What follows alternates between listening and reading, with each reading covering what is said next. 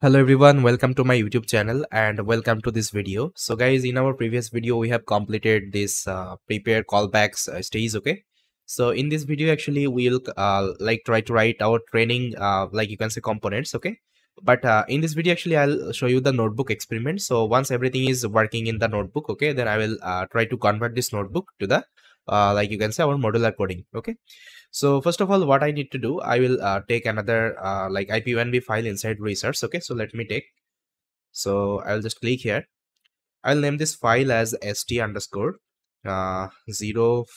I think it should be zero four. Okay, zero four dot ipynb. Yeah. So here, uh, this stage actually, I'm going to name it as uh, training. Okay, training. Okay so let's uh, name it training and I will remove this thing.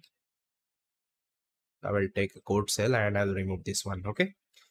So the first thing actually what I need to do, I think you remember, uh, we are following the same thing. But before that, let me uh, close these are the thing because this is not required here.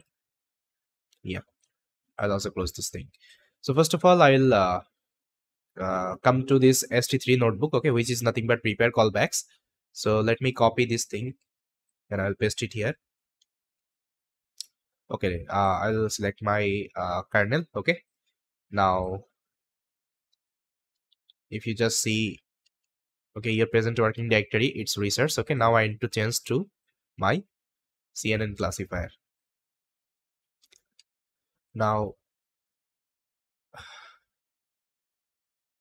okay, it's telling voice is not defined. I think I executed this cell okay it's done. Now if i run the same command now you'll see i'm inside my cnn classifier okay?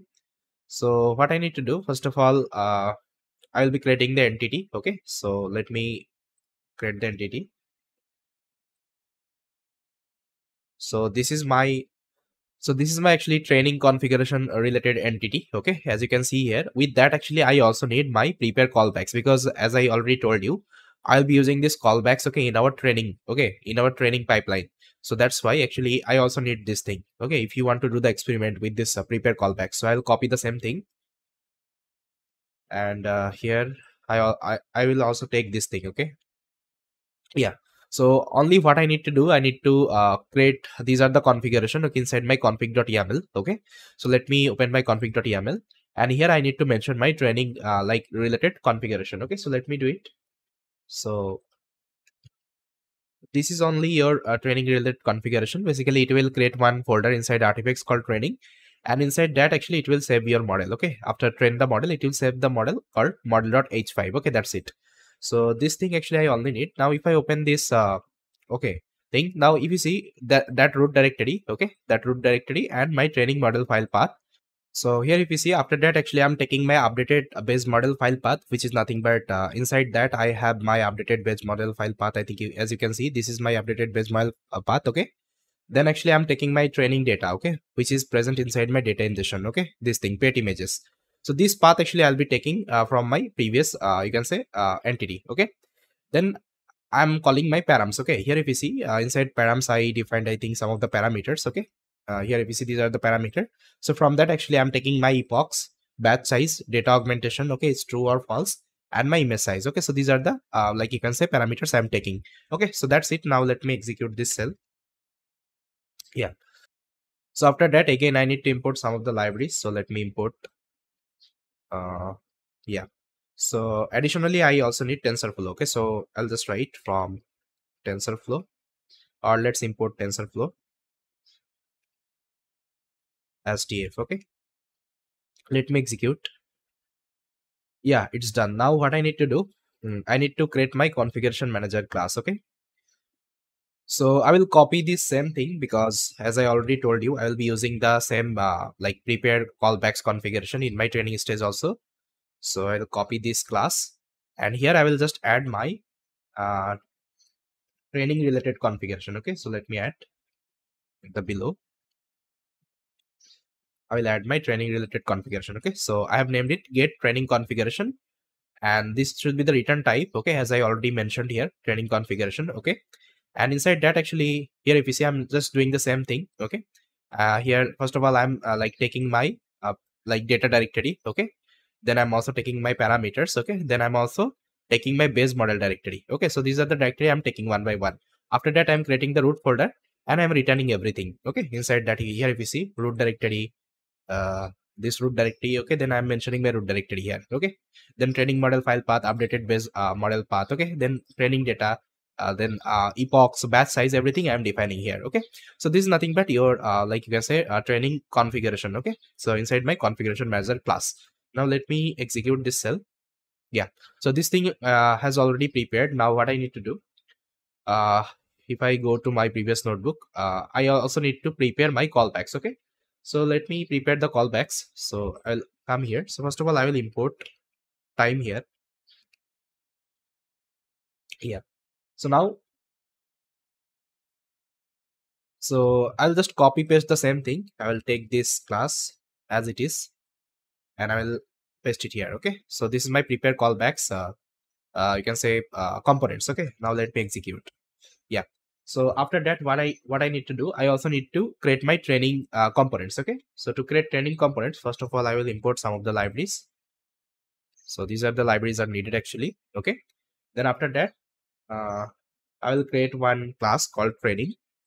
So this training uh, class actually it will take this uh, training configuration. Okay, then uh, here I'm initializing my config. Okay, then after that the first method actually I'm going to write which is nothing but get base model. Okay, so basically this method actually is responsible uh, to get your base model. Okay, so see.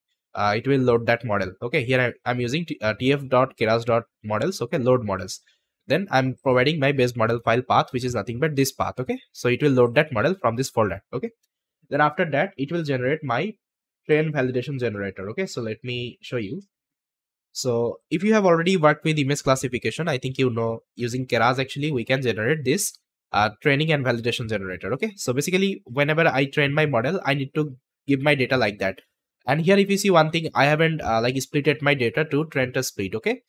So instead of that what i'm using actually i'm using this uh, keras uh, like you can say generator okay? So here we see i'm just uh, uh, telling my uh, validation split would be 0.20 that means so here i'm telling 80% data would be uh, for my training purpose and 20% would be my validation purpose okay?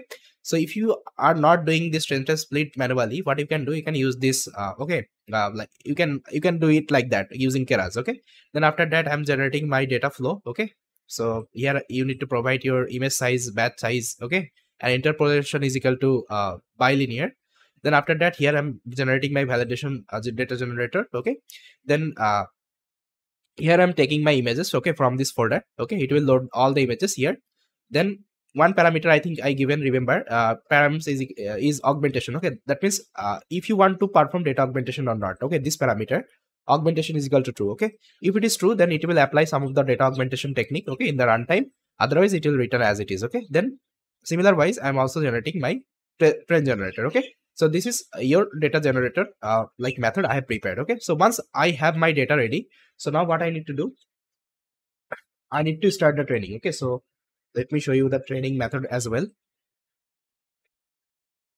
so yeah guys this is my uh, training method okay so basically it will uh, first of all uh, calculate your step per epochs and validation steps. Okay. Then after that it will uh, like uh, fit your model. Okay. See here I'm giving every uh, everything every like you can see parameters my uh, like you can see box number then my data. Okay. Everything I'm giving. After that what I'm doing once this model is trained. Okay. I also need to save my model but I haven't created this save model method. Okay. So let me also create this method. So this method actually I will keep it as static method because uh, I'm not considering it's a class method. Okay. So let me define a static method. Okay. So yeah, guys, I think that's it. So this is your training, uh, you can say uh, stage. Okay. So this thing, uh, if it is working fine on the notebook, okay, I will move this thing, okay, as a modular coding in our next video. Okay. So let me execute this thing now. Now this thing is done. Now I I I need to uh, you can say uh, call my pipeline. Okay, one by one so uh, this thing you can copy as it is because here we are also running our callbacks okay so i'll copy the same thing and uh, with that actually i also need to call my training uh, related pipeline okay? So let me write it here also. So this is my training uh, configuration related pipeline okay? So basically it will first of all get your training configuration from this configuration manager. Here if I show you okay this thing. Then after that okay i'm calling this training uh, components okay class. Then inside that i'm passing this uh, configuration. Then first of all i'm calling this method get model get base, model okay? Then once i got the model i'm generating my data okay? My train validation data okay i'm generating. After that i'm starting the training okay? So once it is done it will also save the save the model okay? That's it. Then after that actually i'm also writing my exception block. Now let me execute this code and see like whether it's working or not okay? So how many epochs i mentioned if i show you? I epoch just only one epochs okay? Let me see whether it is able to train it or not okay so i'll save this file and let me execute and see. See guys uh, it has started. Uh, so it found like uh, 78 images belonging to class for i think validation. And this is the training images. Okay that that many of images actually you have for the training. And see guys it has started the training. This epoch is running currently. This is your accuracy score. This is your loss. Okay? That means everything is, is working fine. And inside artifacts actually it has created another folder called training and inside training it hasn't uh, saved anything because it is still training okay? Once it is like uh, like uh, once it is uh, done okay then it will i think save the model. See guys uh, training is done. Uh, just one epoch i got 60 percent uh, accuracy and this is my loss. Still i need to train okay? If you want good model then i think you can train with multiple epochs okay? Just for demonstration purpose i have given like you can say one epochs here okay? But if you are training you can increase the epochs okay? You can give like you can say 400 okay uh, 300 as per your choice okay? You just uh, increase the epoch size here like that okay? It will train uh, that many of epochs here okay? So i'll just give one just for the demonstration. And uh, see guys uh, it has uh, generated the model. Model.h5 is there. Uh, so this is our like you can say trend model okay? So we'll be using this model for the prediction itself okay? So that means guys it is working perfectly okay in our notebook. So and guys uh, one thing actually uh, i forgot to show you uh, so actually uh, like after training actually it will also generate the callbacks okay because we have also added the callbacks so if you see here, it has created one folder called prepare callbacks. Inside that, it has uh, saved some of the callbacks, okay, like our checkpoint directory and my TensorBoard, uh, like you can say log directory. So if you expand this folder, so here you can see it has created with this with this timestamp, okay, and inside that actually it has saved all the callbacks, okay, all the logs actually TensorBoard logs. So if you want to see the see this okay as a dashboard so i'll show you like how to run this thing okay? But before that let me also show you the checkpoint directory okay? Inside checkpoint directory here if you see it has only saved one model because we only trained uh, one epochs okay? That's why. So these are the callbacks actually it will save okay? Uh, whenever it will be uh, like training. So now if you want to see the tensorboard logs okay? So there is a command actually you need to execute. So I'll just clear my terminal. Okay. So the command is just write tensorboard tensor. Tensor board okay. Uh space hyphen hyphen log dir okay log dir uh, then you need to pass equal to then it is artifacts okay. Inside artifacts i have uh, prepare uh, callbacks. Prepare callbacks okay. Then inside i have something called tensorboard okay tensorboard log directory now if i execute this command uh, it will start this dashboard okay in our local host okay? So let me show you. See guys it's running. Now see this localhost is running. Now if you just press ctrl and right click on top of it okay it will uh, open up your localhost so let me show you. See guys it has opened my localhost here okay? And this is the tensorboard ui okay? So here if you see all the all the logs okay all the logs. Uh, here you can't see any graph because i only trained uh, one epochs and if you just hover it here you will see all the values and everything okay? So uh, it's great actually you can explore this thing. There are many uh, you can see information you will get okay? So here if you see this is my uh, accuracy versus iteration and this is my uh, loss version iteration okay? All the graph actually you can see here even you can also see the histogram image okay? Everything you can see okay? So this is one of the amazing tool like to uh, like you can say track your uh, training okay? Uh, you can also convert it to image i think okay? Histograms everything is possible here okay? So this is one of the like best tool uh, to uh, explore your uh, you can say uh, training logs and everything okay? You can just uh, explore this thing in our uh, like next video actually i'll be converting this thing as a modular coding okay as we are doing from very scratch. So now what i need to do i also need to commit the changes. So i'll open my terminal. So i'll just write git add. Okay then git uh, commit. Training. Notebook.